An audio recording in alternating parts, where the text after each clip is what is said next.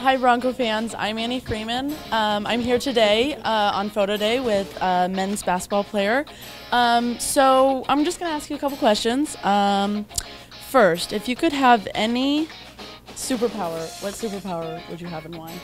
Um, I mean, that's tough. I'd say either super speed or uh, to fly. I mean, flying is like, that would be so cool.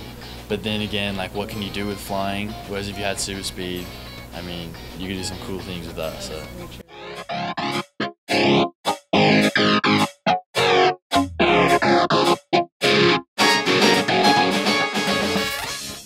Earlier today, we sat down with Coach uh, Jesse Pruitt and asked him seven questions. I'm going to ask Yannick a few here and see, see how well he knows Coach Pruitt.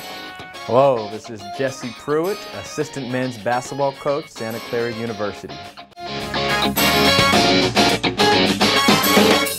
All right, what do you think is Coach Pruitt's favorite movie is? Um, I'll probably say Titanic. Okay, Titanic. Yeah. Who do you think? My favorite movie of all time, it has to be two of them, and it covers a wide spectrum. Number one is Friday, the original with Ice Cube and Chris Tucker, and the other is Ten Commandments, starring Charlton Heston. Hi guys, I'm here with Emmanuel on the men's basketball team. Um, I'm going to ask you a couple questions, okay? Uh, first off, um, what's your most embarrassing sports moment on the court? uh, getting hit by Brandon Clark my freshman year, so I started crying. I don't know. You started crying. How was that? It was terrible because my coach told me they keep yelling like, you know, get up, E. but you can get up.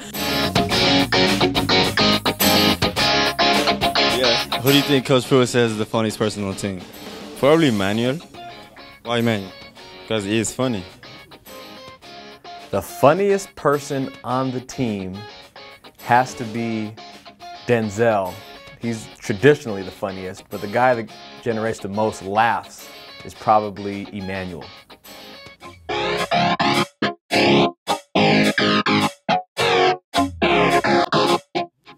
All right, and what do you think his favorite food is? Ooh, I will say chicken. okay. Uh, my favorite food is Mexican food. That's probably because I grew up in Southern California.